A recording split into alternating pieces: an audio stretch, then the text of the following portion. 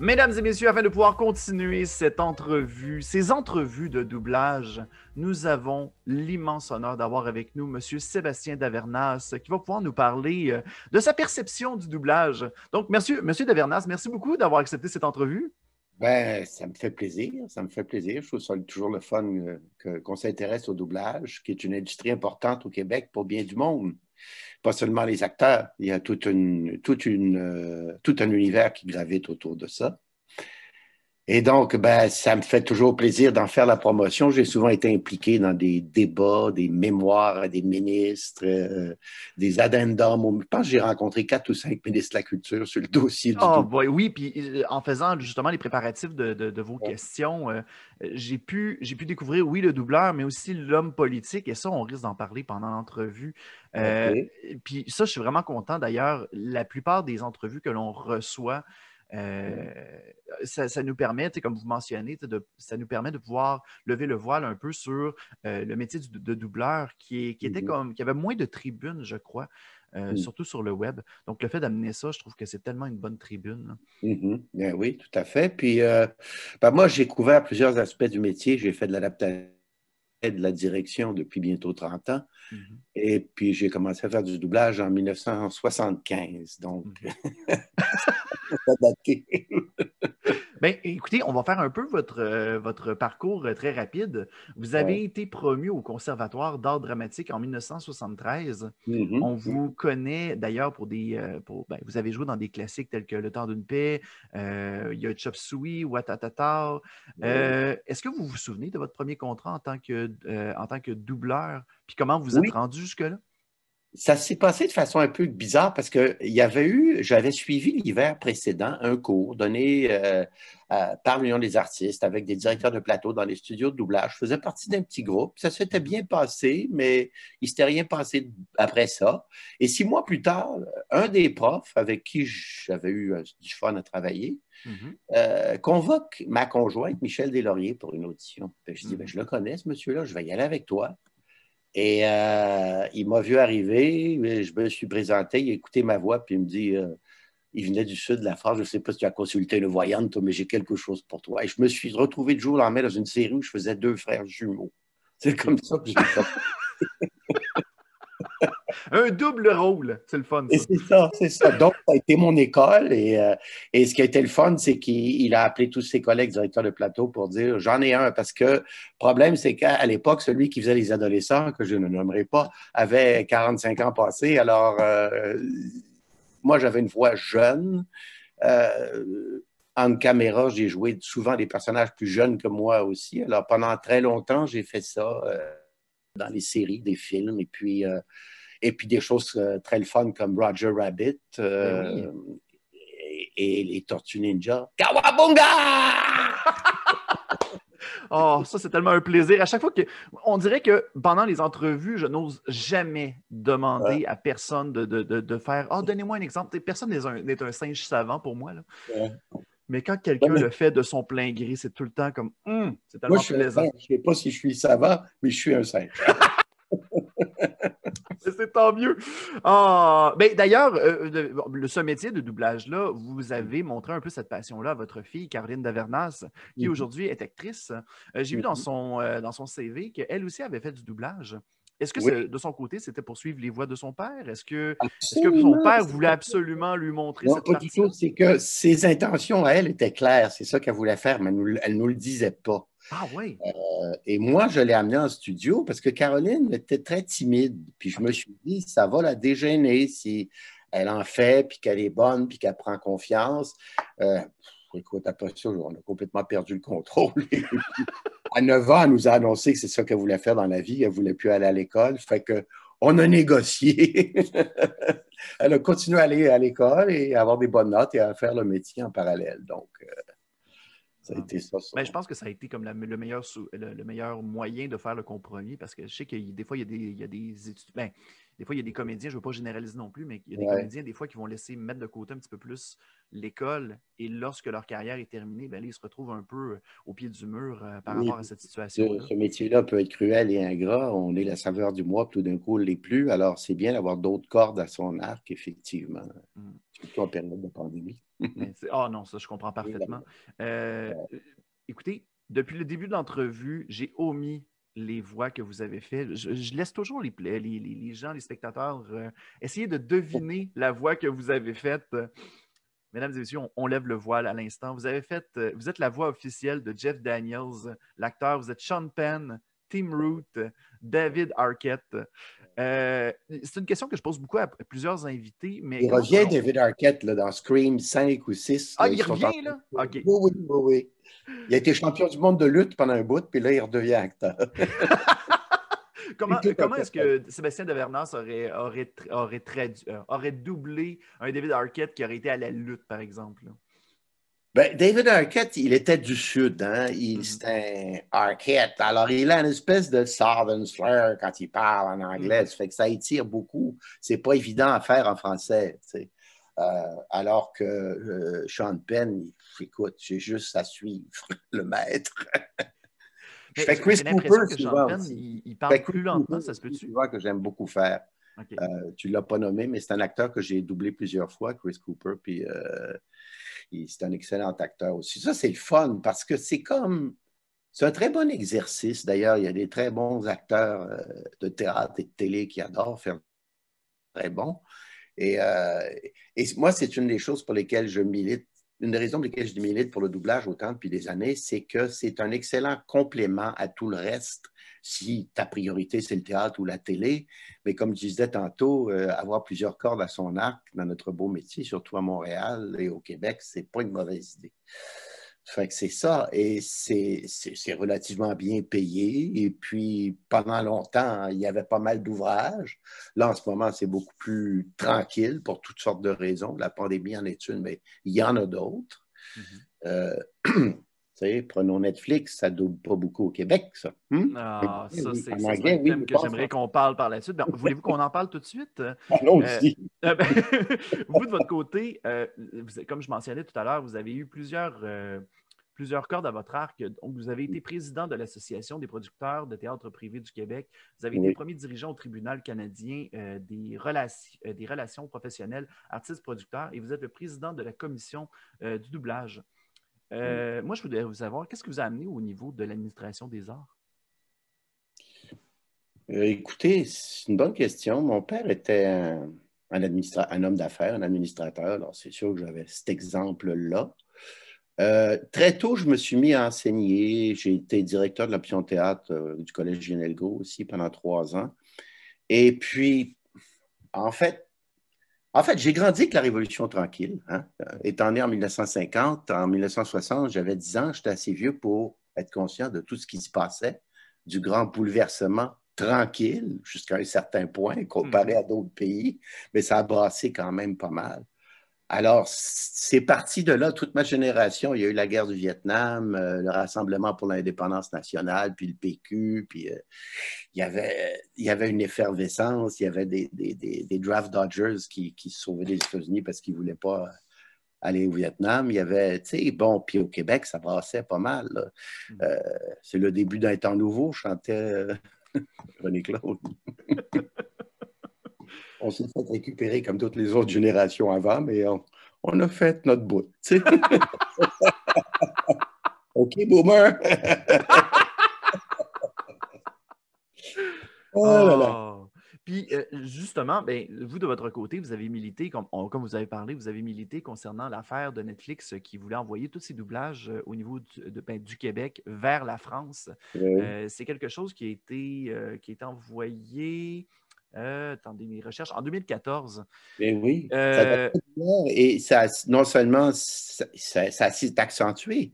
Mhm. À l'époque, ils doublaient euh, la fameuse série avec, comment il s'appelle, American Beauty, l'acteur banni maintenant. Là. Voyons, ah, c'est David, David, non pas David Spade. Voyons, je sais, je sais ce que vous voulez dire, mais celui qui faisait House of Cards, c'est bien ça? Oui, c'est ça. House of Cards, exactement. Le doublait ici, puis du jour au lendemain, ils ont tiré la plug, c'est allé doubler en France. Euh, et puis, ben, écoutez, il ne faut pas s'étonner, le bureau, le, service à la clientèle de Netflix est à Paris hein, pour les clients québécois. Euh, là, ils viennent d'annoncer qu'ils veulent s'installer ici, euh, ouvrir des studios, se rapprocher des créateurs. Mais euh, ça serait le fun que le doublage est tout simplement sa part du gâteau. Pas d'exclusivité, mais sa part du gâteau. D'autant plus que Netflix fait du doublage en anglais au Québec. Mhm. C'est un peu contradictoire. Puis, qu'est-ce que euh, puis selon vous, qu'est-ce que vous pensez que c'est quoi l'argument principal pour lequel Netflix s'en va en France? Est-ce que c'est principalement parce que le doublage est moins cher là-bas? Non, le doublage n'est pas moins cher là-bas. Il, y a certaines catégories d'intervenants là-bas qui ont des droits de suite. Nous, on n'en a pas ici. Les adaptateurs là-bas ont des droits de suite, ce qui fait une grosse, une énorme différence. Mm-hmm. Non, c'est, il y a deux aspects. Il y a l'aspect économique. Euh, pour eux, c'est, le doublage, c'est un pain in the ass de toute façon. Alors, on, bon, et puis la France a un poids. Elle dit, écoutez, nous autres, on est 67 ou 68 millions, plus la Suisse et la Belgique. Euh, on vous achète le produit si vous le doublez en France euh, et le tour est joué. Et même les séries canadiennes, on en double plus, mais euh, il faut toujours se battre. C'est jamais gagné d'avance. Mm-hmm. Mais là, maintenant que Netflix n'est plus rendu le seul site de streaming ou, quoi que ce soit, est-ce que, est que le combat reste le même avec des services comme par exemple Disney Plus, Amazon Prime, euh, que ce soit pour d'autres. Ben écoute, euh, dit tantôt que j'étais ben, euh, président de la commission du doublage. J'ai été à une certaine époque, mais je ne le suis plus aujourd'hui. Donc, ce que je t'exprime là, c'est mon opinion personnelle. OK, parfait. mais ce que je pense, c'est que ça fait longtemps que, quand tu le dis, en 2014, moi, j'ai commencé à parler de ça. Et l'idée, ça aurait été d'aller voir tous ces diffuseurs-là et, de et de, dire, écoutez, voici, euh, vous êtes ici, vous êtes des citoyens corporatifs, il y a toute une industrie, il y a des studios, il y a, tout ce qu'il faut pour vous livrer la marchandise clé en main. Voulez-vous faire un effort? Pouvez-vous nous garantir un certain pourcentage, par exemple? Si cinq ou six de ces entités-là concluaient un deal comme ça, on serait, on serait bien occupé en doublage. Puis avec qu'est-ce qui, ben, s'est passé avec Netflix, est-ce que vous pensez que ça, ça pourrait euh, nuire à long terme, pardon, est-ce que, vous pensez que ça, ça pourrait nuire à long terme euh, dans le doublage québécois au point que, là, c'est sûr, comme vous me avez mentionné, là, il y a un retour du balancier tranquillement, pas vite, mais euh, si jamais celui-ci ne revient pas ou quoi que ce soit, est-ce que, ça pourrait mener à, à terme le doublage québécois? Je ne sais pas. Je ne sais pas. En ce moment, ce qu'on fait principalement, ce n'est pas du doublage, c'est de la surimpression vocale. Quand on parle par-dessus l'original qu'on entend en arrière.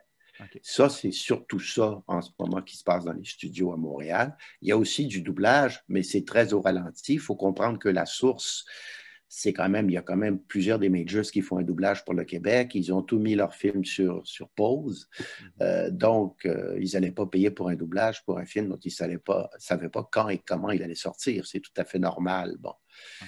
Fait que c'est ça, c'est de. Mais ça sera toujours. Euh, quelqu'un m'a dit une fois, oui, mais le secteur du doublage, vous êtes toujours en train de revendiquer. Mais je, je lui ai répondu, c'est le seul secteur, l'Union des artistes, qui est toujours 365 jours par année en concurrence mondiale. Mhm.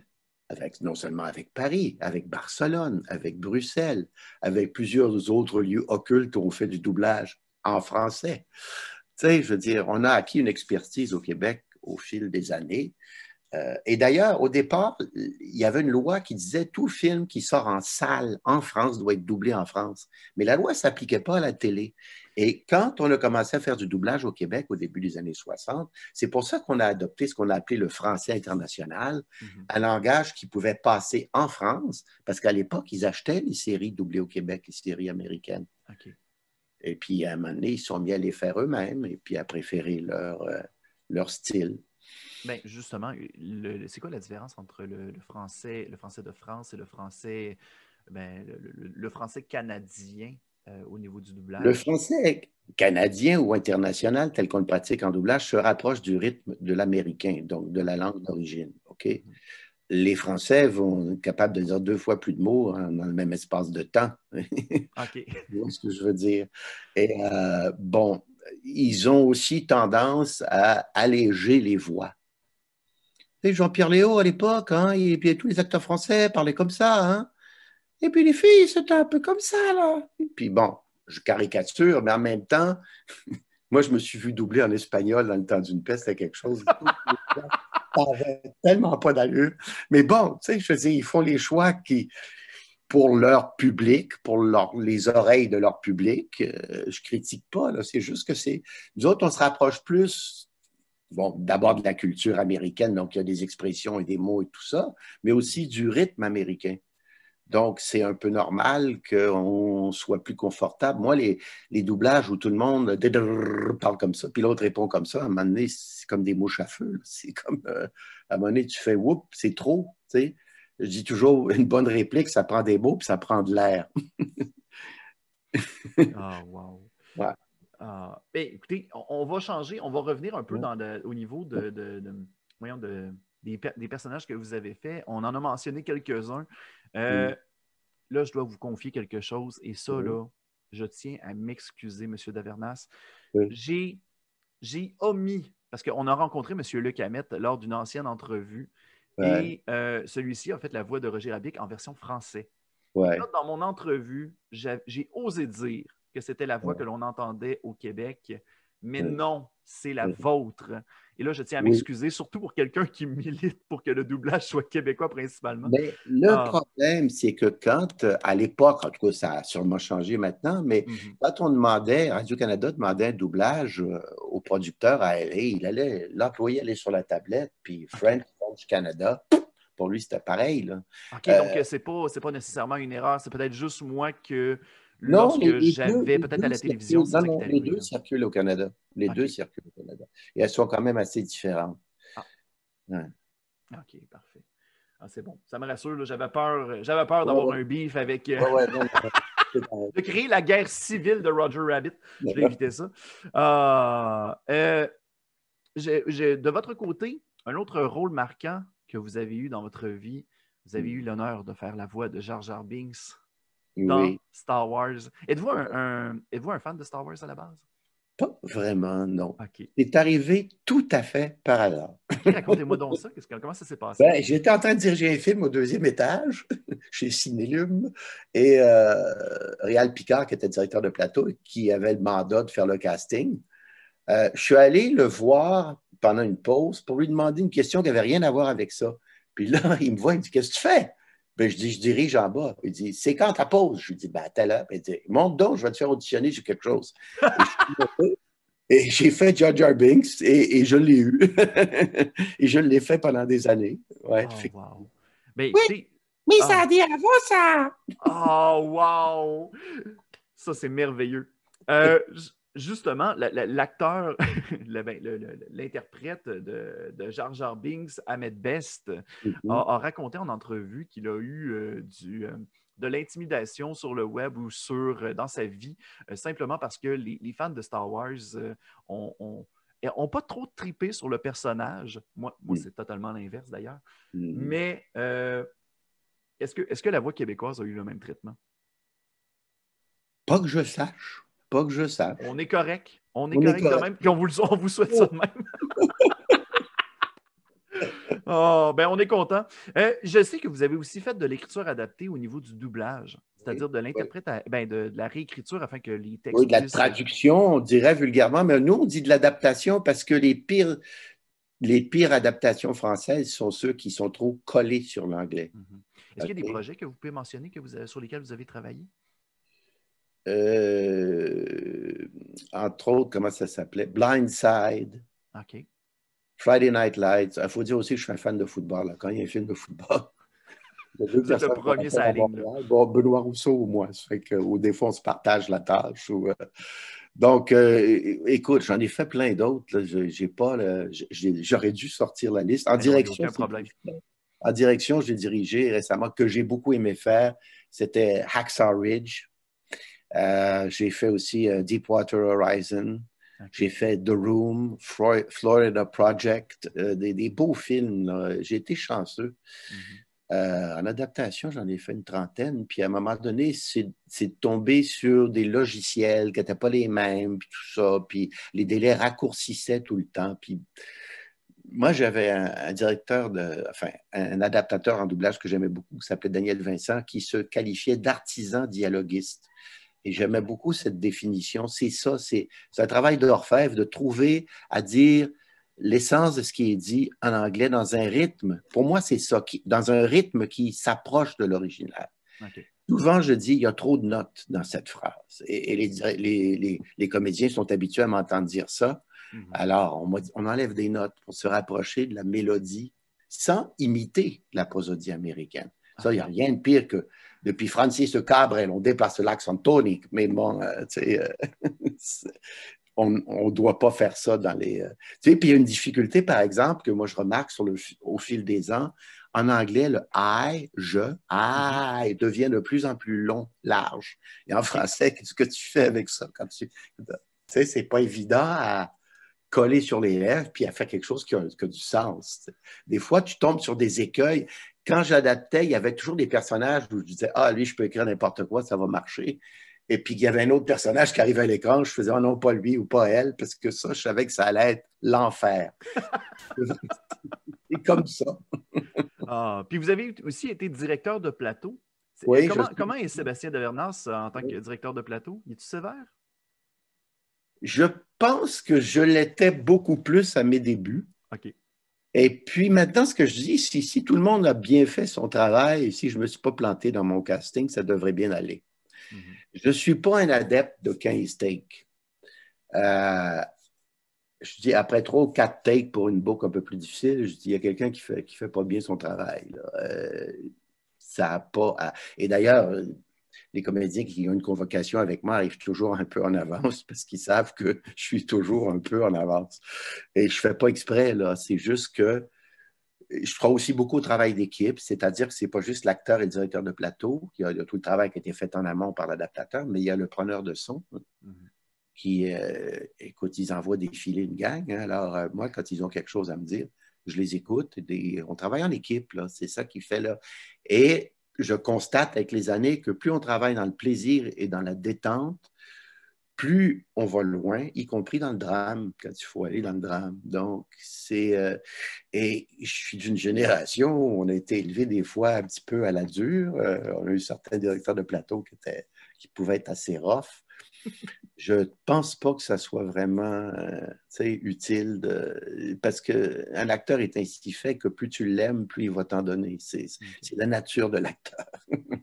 Puis pensez-vous que quelqu'un qui a déjà fait du doublage auparavant, euh, lorsqu'il devient directeur de, plateau, il va, être, il va être plus compréhensif envers euh, les personnes qu'il doit diriger? Moi, je, comme j'ai été prof d'interprétation, metteur en scène et, directeur d'école avant de diriger, j'ai toujours eu, comme directeur de plateau en doublage, une approche d'un metteur en scène qui parle à un acteur. Euh, oui, ça va des fois m'arriver de dire fais attention, ta labiale n'était pas en place et des trucs comme ça, mais moi, je cherche l'essence. Puis c'est de ça que je parle aux comédiens. J'essaye de généralement motiver et, donner une indication qui ne prend pas 15 minutes, mais qui va vraiment donner une bonne orientation. Puis, je tiens mon bout quand vraiment, puisque je connais bien mon film, je l'ai souvent visionné trois, quatre fois avant de le diriger. Euh, je connais aussi mon interprète. Je sais ce que il ou elle peut me donner euh, souvent, je dis à la personne qui fait les plans, euh, elle, tu peux y aller un peu plus vite, tu peux y aller à 80 lignes à l'heure.